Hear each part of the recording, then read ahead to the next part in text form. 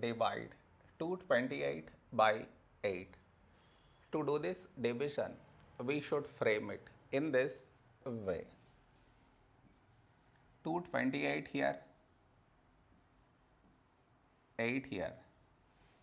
This is your step 1.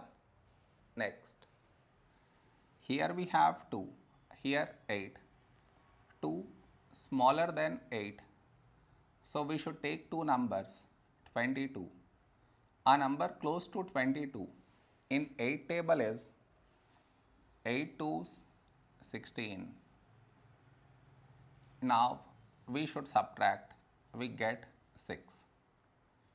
After this, bring down the beside number. So 8 down, so 68.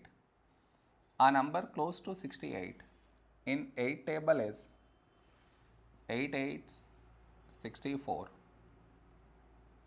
Now we subtract, we get 4. After this, no more numbers to bring it down.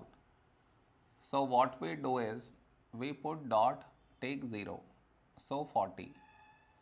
When do we get 40? In 8 table, 8 5s 40.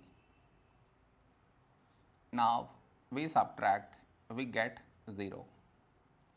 Here we got remainder 0. So this is our quotient